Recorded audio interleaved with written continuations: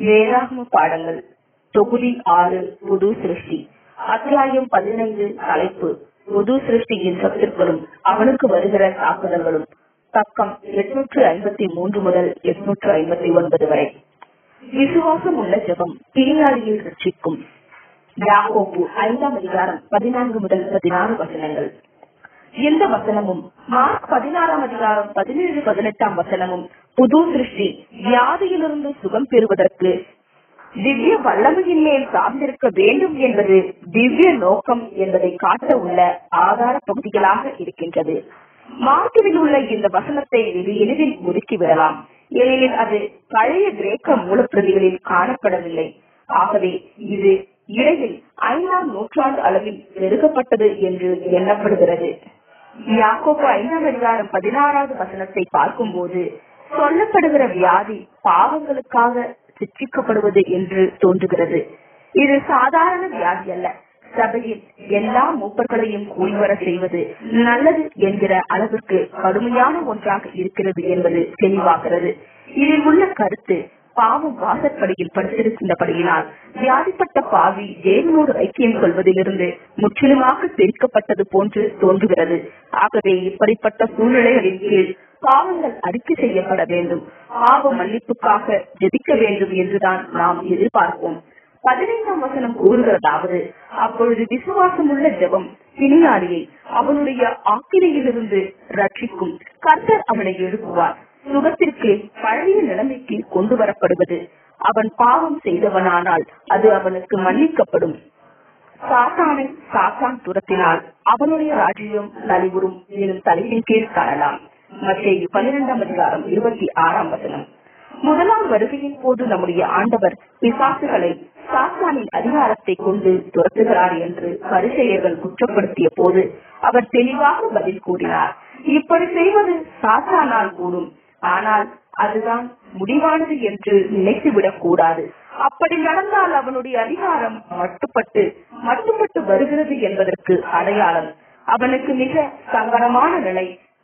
கடைசி முயற்சியாக அவன் இதை கையாளுகிறான். அவனுடைய ஏமாற்றுகிற குணத்தின் மேல் உள்ள பிடி தளர்ந்து விடாமல் இருப்பதற்காக இப்படி செய்கிறான் என்று கூறினார். சுகப்படுத்துதலையும் அற்புதங்களையும் சாத்தானுடையது என்று நாங்கள் பொதுவாக கூறவில்லை. ஆனால் ஒவ்வொரு நபரும் அல்லது ஒழுங்குமுறைகளும் தங்களை அற்புதங்களினால் சிறப்படுத்திக் கொள்ள முயற்சிப்பதை கவனமாக சோதித்து பார்க்க வேண்டும் என்பதை ஆதரிக்கிறோம்.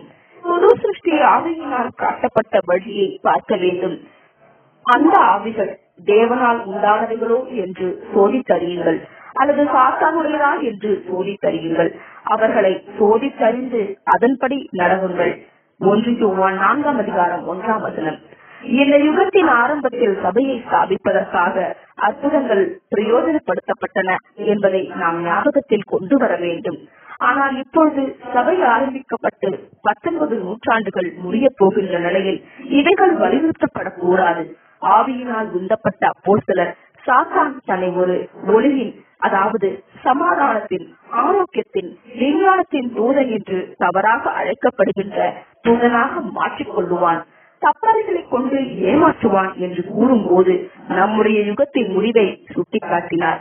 ஆண்டுக்குட்டியானவரின் ஜீவ புஸ்தகத்தில் பெயர்கள் எழுதப்படாதபடி பூமியில் வசிக்கிறவர்கள் எல்லாரையும் ஏமாற்றும்படி அந்த ஒளி ஓர் அளவிற்கு வெற்றி பெறவும் தேவன் அனுமதிக்கிறார் என்றும் கூட அப்போ சிலர் காட்டுகிறார். அவர் கூறுகிறதாவது ஆகையால் சத்தியத்தை விசுவாசியாமல் அநீதியில் பிரியப்படுகிற யாவரும் ஆவினைக்குள்ளாக்கப்படும்படி அவர்களை பொய்யை விசுவாசிக்கத்தக்கதாக கொடிய வஞ்சகத்தை தேவன் அவர்களுக்கு அனுப்புவார். சகல வல்லமையும் அடையாளங்களும் பொய்யான அதாவது ஏமாற்றுகிற அற்புதங்களும் இந்த கடைசி நாட்களின் யுகத்தில் இந்த அறுவடை காலத்தில் எதிர்பார்க்கப்பட வேண்டும். இரண்டு தெசலோனிக்கேயர் இரண்டாம் அதிகாரம் ஒன்பது முதல் பனிரெண்டு வசனங்கள். நம்முடைய ஆண்டவரின் வார்த்தைகளை கூட நாம் மறந்துவிடக் கூடாது. அந்நாளிலே அநேகர் என்னை நோக்கி கர்த்தாவே கர்த்தாவே உமது நாமத்தினாலே தீர்க்க தரிசனம் அதாவது பிரசங்கித்தோம் உரைத்தோம் அல்லவா? உமது நாமத்தினாலே பிசாசுகளை துரத்தினோம் அல்லவா? உமது நாமத்தினாலே அநேக அற்புதங்களை செய்தோம் அல்லவா? என்பார்கள். அப்பொழுது நான் ஒரு காலம் உங்களை அறியவில்லை. அக்கிரம செய்கைக்காரரே என்னை விட்டு அகன்று போங்கள் என்று அவர்களுக்கு சொல்லுவேன். மத்திய ஏழாம் அதிகாரம் இருபத்தி ரெண்டு இருபத்தி மூன்று வசனங்கள். நாம் யுகத்தின் இறுதியில் வசித்துக் கொண்டிருக்கிறோம் என்பதை உணரும்படிக்கு யாருடைய மனக்கண்கள் எல்லாம் திறக்கப்பட்டுள்ளதோ எங்கே இந்த முன்னறிவிப்புகள் எல்லாம் நிறைவேறும்படி எதிர்பார்க்கப்பட வேண்டியுள்ளதோ அவைகளை காணும்படி ஜாக்கிரதையாக இருப்பதற்கும் கிறிஸ்தவ உலகம் பூராவும் பரவியுள்ள கவர்ச்சியான போதனைகளையும் அற்புத அடையாளங்களையும் கண்டுபிடிப்பதற்கும் நிச்சயமாக இதுவே காலமாய் இருக்கிறது ஆனால் இவைகளெல்லாம் சாத்தானின் மாயம் என்றும் அவைகளில் ஒன்றும் தேவனிடத்திலிருந்து வருவது அல்ல என்றும் நிச்சயித்துக் கொள்ளுவது ஆவியின் பாஷையில் நாங்கள் பதில் கூறுகிறோம். இந்த வார்த்தையின் வழியே சொல்லாவிட்டால் அவர்களுக்கு விடிய காலத்து வெளிச்சம் இல்லை. ஏசாயா எட்டாம் அதிகாரம் இருபதாம் வசனம். அவர்கள் வார்த்தையிலிருந்து விலகுவது விலகுவது பல்வேறு விதமாக இருக்கிறது. ஒருவர் ஒரு வழியிலும் மற்றொருவர் இன்னொரு வழியிலும் செல்கின்றனர். அவர்களில் பெரும்பான்மையானோர் போலியாக இருப்பதை சுவிசேஷத்தின் அடிப்படை உபதேசமான ஈடுபலி என்பதோடு இசையில்லாதிருப்பதன் மூலம் வெகு சீக்கிரத்திலேயே கண்டு கொள்ளலாம். அவர்கள் ஈடுபலியை மறுக்கிறோம் என்று சொல்லாமல் இருக்கலாம். எல்லோருக்கும் ஈடுபலியாகவும் பாவம் மன்னிக்கும் பிதாவோடு உத்தரவாகுவதற்கும் அடிப்படையாகவும் கல்வாரியில் நிறைவேற்றப்பட்ட பெரிய பாவ நிவாரண பலி இருக்கிறது என்பதை அதன் முக்கியத்துவத்தையும் விசுவாசிக்கிறோம் என்று கூட சொல்லுவார்கள். எப்படியாயினும் ஈடுபலிக்கு கிரேக்க பதமான ஆன்டிலூட்ரான் என்பதையும் அது அதற்கேற்ற கிரயம் என்று அர்த்தப்படுவதையும் ஞாபகத்தில் வைத்திருப்பவர்களை அதிக காலம் ஏமாற்ற முடியாது. திவ்ய சத்தியமாகிய இந்த உரைக்கல் பரிணாமம் என்பது சத்தியத்திற்கு எதிர்மாறானது என்று சீக்கிரமாக காண்பிக்கும். ஏனெனில் பரிணாமம் மனிதன் விழுந்து போனதையும் எல்லாருக்கும் மீட்பு தேவை என்பதையும் மறுக்கிறது. அது கிறிஸ்தவ விஞ்ஞானம் கிறிஸ்தவத்திற்கு விரோதமானது என்று சரியானபடி குற்றப்படுத்துகிறது. ஏனெனில் கிறிஸ்தவ விஞ்ஞானம் பாவத்தையும் மரணத்தையும் எல்லா பொல்லாப்பையும் மறுத்து அவைகளெல்லாம் மனதின் மயக்கம் என்று கூறுகிறது. பாவம் பொல்லாப்பு ஆகியவைகளுக்கு தேவன்தான் காரணகர்த்தா. தூண்டுகோலாய் இருந்தவர் என்ற கருத்தை இந்த உரைக்கல் குற்றப்படுத்தி அவர் எப்பொழுதும் பாவத்தை எதிர்த்திருக்கிறார். ஆகவே மீட்பின் மூலமாக மனிதனை அதன் அடிமைத்தனத்திலிருந்து மீட்கும் ஒரு திட்டத்தை வைத்திருக்கிறார் அதன் பலன்கள் இடைப்பாறுதலின் காலங்களில் படிப்படியாக வரும் என்று காட்டுகிறது. ஆனால் பிசாசுகளின் உபதேசங்களை போதித்து தேவனுடைய பரிசுத்த நாமத்தை தூஷிக்கிறவர்களை பற்றி நாம் என்ன சொல்லுவோம்? அவர்கள் ஜீவித்துக் கொண்டிருக்கிற மனுக்குலத்தின் பெரும் திரளான ஜனங்களை உபத்திரவப்படுத்தும்படி ஒரு நிச்சய சித்திரவதை காத்துக் கொண்டிருக்கிறது என்றும் ஏற்கனவே ஐயாயிரம் கோடியில் பெரும்பான்மையினரை அது தன்னுடைய கட்டுப்பாட்டிற்குள் வைத்திருக்கிறது என்றும் போதிக்கிறார்கள். ஆனால் வேதமோ அவர்கள் தங்களுடைய கல்லறையில் இருக்கிறார்கள் என்றும் அவர்கள் பூமியில் உள்ள சகல வம்சங்களுக்கெல்லாம் வாக்குத்தத்தம் பண்ணப்பட்ட ஆசீர்வாதங்களுக்காக காத்து கொண்டிருக்கிறார்கள் என்றும் கூறுகிறது. இப்படிப்பட்ட ஜனங்கள் என்னுடைய நாமத்தினாலே குணமாக்குகிறார்கள் என்றால் இப்பொழுது ஆண்டவர் அவர்களது தப்பறையான போதனைகளை ஆமோதித்துக் கொண்டிருக்கிறார் என்று எண்ணலாமா? கூடாது. அதுவும் இப்பொழுது ஆயிரம் வருட யுகம் உதயமாகிக் கொண்டிருக்கிற வேளையிலும் அதோடு கூட இப்படிப்பட்ட அந்தகார இருளானது மறைந்து கொண்டிருக்கிற வேளையிலும் நாம் அப்படி நினைக்க கூடாது. அப்போஸ்தலர் எழுதுகிறார் சகோதரரே அந்த நாள் திருடனைப் போல உங்களை பிடித்துக் கொள்ளத்தக்கதாக நீங்கள் அந்தகாரத்தில் இருக்கிறவர்கள் அல்லவே. ஆகவே இப்பொழுது அப்போஸ்தலர்களால் குறிப்பிடப்பட்டவர்கள் மத்தியில் மேலே கூறப்பட்டவர்கள் இருப்பதாக நாம் எண்ண முடியாது. அவர்களுடைய அற்புதமான கிரியைகளினால் அவர்களுடைய வருகிற ராஜா சீக்கிரத்தில் வருகிறார் என்று கூறி கிறிஸ்துவில் விசுவாசம் வைக்கிறோம் என்று கூறுகிறதுனால் ஒன்றும் ஆக போகிறதில்லை.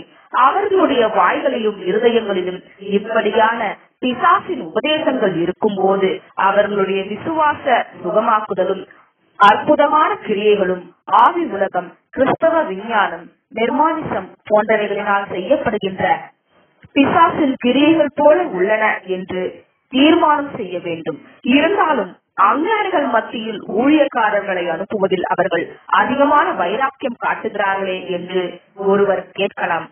இயக்கத்தை பற்றி நமது பொதுவான கருத்தை இது மாற்றாது என்று நாம் பதில் கூறுகிறோம்.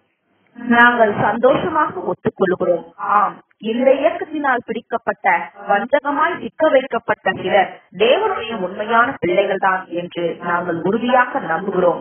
அவர்களை இந்த மாயமான பாபிலோனில் இருந்து அவர் விடுவிப்பார் என்று நாங்கள் நம்புகிறோம். அவருடைய நாட்களில் இருந்த வைராக்கியமான ஊழிய முயற்சிகளை பற்றி நம்முடைய ஆண்டவரின் கணிப்பை நம்முடைய மனதிற்கு கொண்டு வருவோம். அவர் பரிசெயர்களை பார்த்து சொன்னார் அந்த நேரத்தில் அந்த தேசத்தில் இருந்த பரிசுத்திற்குரிய ஜனங்கள் மாயக்காரராகிய வேத பாரகரே பரிசேயரே உங்களுக்கு ஐயோ.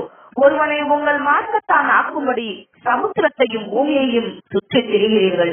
அவன் உங்கள் மார்க்கத்தான் ஆன போது அவனை உங்களிலும் இரட்டிப்பாய் நரகத்தில் அதாவது இரண்டாவது மரணத்தில் மகனாக்குகிறீர்கள். மத்திய இருபத்தி மூன்றாம் அதிகாரம் பதினைந்தாம் வசனம்.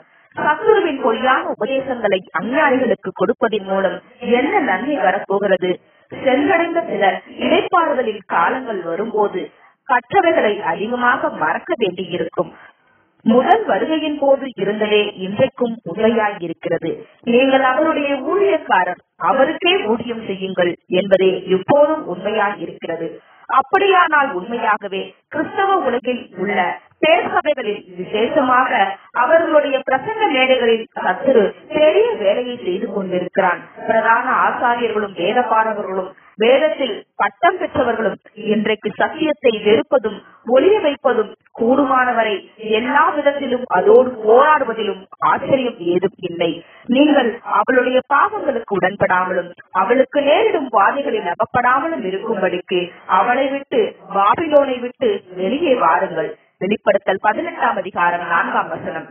சாத்தான் நம்முடைய ஆண்டவரின் மேலே குறிப்பிட்ட வார்த்தைகளின்படி புறக்கோடியில் இருக்கிறான் மத்தேயு பனிரெண்டாம் அதிகாரம் இருபத்தி ஆறாம் வசனம். அறியாமையின் திரை அகற்றப்படும் போது எல்லா விஷயத்தையும் பற்றிய அறிவு பொதுவாக அதிகரிக்கும் போது முற்காலத்தில் உபயோகித்ததை போன்று மூட நம்பிக்கைகளை உபயோகிப்பது முடியாமல் போகிறது. புதிய மாயைகள் கொண்டு வரப்பட வேண்டும். இல்லையென்றால் சத்தியத்தை பெற்றுக்கொண்டு அவரிடமிருந்து தப்பி விடுவார்கள்.